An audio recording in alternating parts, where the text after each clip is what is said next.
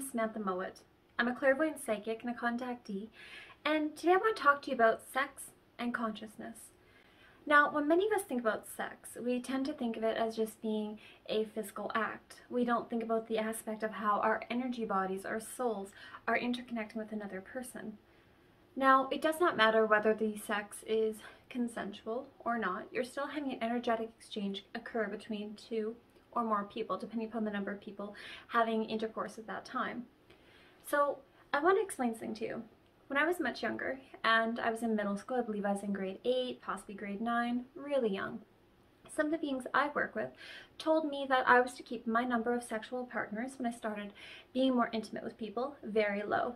I was not allowed to go out and have the sexual liberation and freedom of exploration that many of you have had the pleasure of having. And at the time, I didn't really understand why this was the case.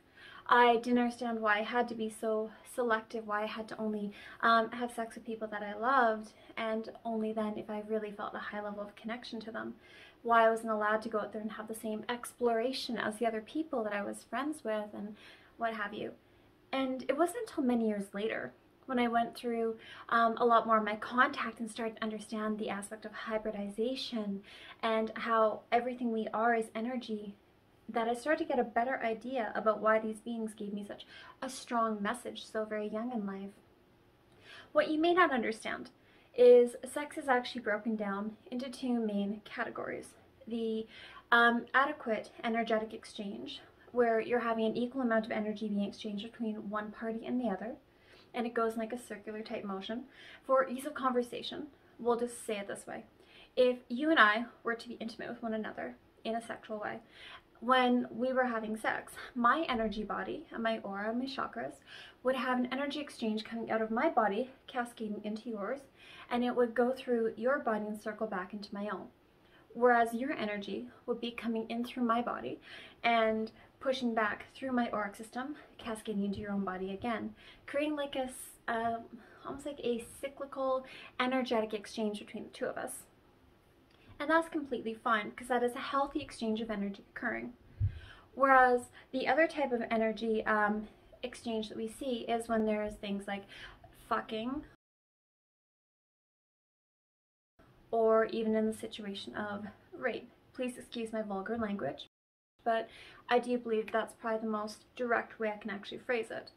So when you are having um, intercourse with someone that you are not actually having a strong sense of love and connection to, and you're just there for the orgasm, the release, you are still having an energetic um, exchange with your partner, but it's not necessarily a healthy one.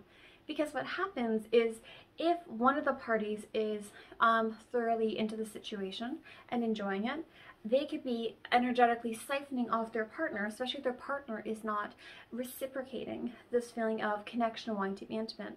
In which case, one party is actually having vampiric energy um, taking from the other partner and feeding off of them. And they're unaware of that component typically.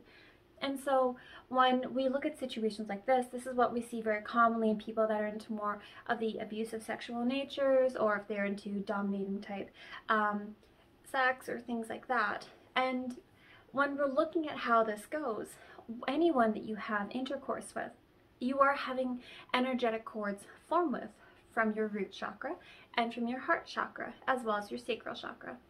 So when we look at this aspect, think about how many sexual partners you've had.